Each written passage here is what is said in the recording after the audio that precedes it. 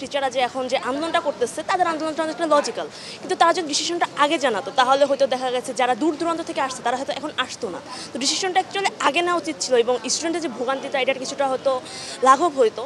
আর একটা ডিসিশন হচ্ছে যে যে টিচারদের অ্যাকচুয়ালি যে ডিসিশন নিচ্ছে অনেক মানে তারা যে আন্দোলনটা করছে লজিক্যাল কিন্তু দেখা যাচ্ছে যে, আমরা অনেক সময় স্টুডেন্টরা কিছু আন্দোলন করে, কিন্তু সেই সময় যে তাদেরকে হয়তো অনেক সময় পাওয়া যায় না। মানে পাওয়া যায় বাট অনেক সময় হয়তো পাওয়া যায় না পার্শিয়ালি পাওয়া যায়।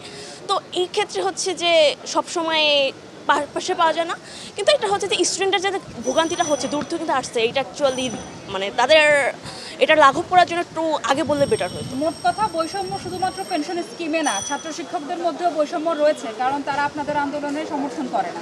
দেখুন ইউনিভার্সিটিটা হচ্ছে যে ইউনিভার্সিটির হচ্ছে স্টুডেন্টদের জন্য টিচারদের জন্য সবার জন্যই। কিন্তু দেখা যাচ্ছে যে একটা সময় যে স্টুডেন্টরা কিন্তু ক- পাচ্ছে এটাও একটা প্রশ্ন। কিন্তু বৈষম্যটা আসলে সব ক্ষেত্রেই দেখা যাচ্ছে। প্রথমত ভার্সিটিতে লাইফ আমাদের আজকে থেকে ক্লাস শুরু হওয়ার কথা ছিল।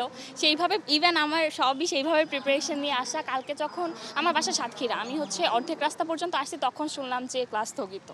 এখন এটা নিয়ে আসলে আপু, আমাদের তো কিছু বলার নাই। কিন্তু হ্যাঁ ভার্সিটির জন্য আবেগ কাজ করে, সেই জন্য ভার্সিটি বন্ধ, তাও আসছি।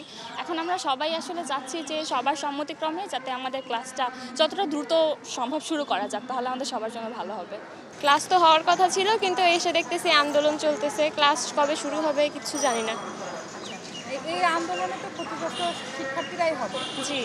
এখন আপনারা কি চান? আমরা চাই আন্দোলনটা বন্ধ হোক সব কিছু স্বাভাবিক হোক আমাদের ক্লাস শুরু হোক যেহেতু আমরা নতুন। অভিজ্ঞতাটা তো নিতে পারলাম না। এটা শুনে- এসছেন ঢাকা বিশ্ববিদ্যালয়ে এমন বাইরে সেটা সেই সাহায্য নিতে পারছেন না। না। আপনি তো এটা যদি নিজের মুখে বলেন যে প্রথম ক্লাস করতে পারলাম না আজকে আজকে প্রথম ক্লাস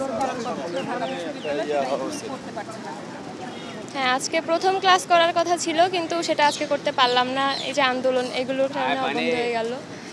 আমরা তো সবসময় চাই ইউনিভার্সিটি দেশের অবদান রাখুক দেশে আমাদের শিক্ষকদের অবদান অনেক বেশি ইন্টেলেকচুয়াল জায়গা থেকে তো আমাদের ইউনিভার্সিটির টিচারদের অবদান সে জায়গায় অনেক বেশি। সেখানে আমরা এটার সাথে একমত যে টিচারদের যে স্কিমটাতে নেওয়া হচ্ছে টিচাররা এটাতে অসন্তুষ্ট না হওয়ার ক্ষেত্রে আমরা ঠিক আছে একমত।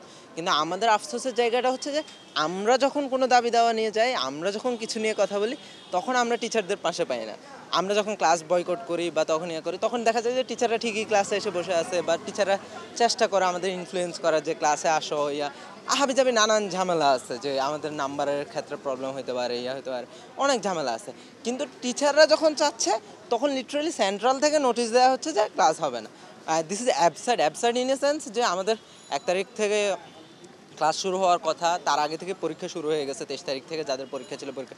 এখন আজকে থেকে হ্যাঁ আজকে থেকে ক্লাস শুরু হওয়ার কথা অ্যান্ড তেইশ তারিখ থেকে যাদের পরীক্ষা ছিল পরীক্ষাগুলো শুরু হয়ে গেছিল। কিন্তু এখন হঠাৎ করে আসা বলা হচ্ছে যে না কোনো ক্লাস হবে না কোনো ইয়ে হবে না। এই যে বাচ্চাগুলো এত দূর থেকে আসলো যারা রংপুর থেকে আসে, তারা দশ বারো ঘণ্টা জার্নি করে আসে, তারও বেশি সময়। তো তাদের কি হবে? তাদের ক্ষেত্রে ইউনিভার্সিটির কম্পেনসেশন কি? ইউনিভার্সিটি যদি শুধু টিচারদের জন্যই ভাবে ইউনিভার্সিটি স্টুডেন্টদের এই পাথর বা টিচারদের জন্য না ইউনিভার্সিটি আমাদের জন্য। তো আমাদের কথাই যদি ভাবা না হয়, আমাদের ক্ষেত্রে যদি টিচারদের উদাসীনতা থাকে, নিজেদের কথাই সবসময় ভাবা হয়, তাহলে তো সেটা আসলে একটা ভালো পরিবেশ দেয় না ইউনিভার্সিটি যে পরিবেশ আমরা আশা করি আর কি।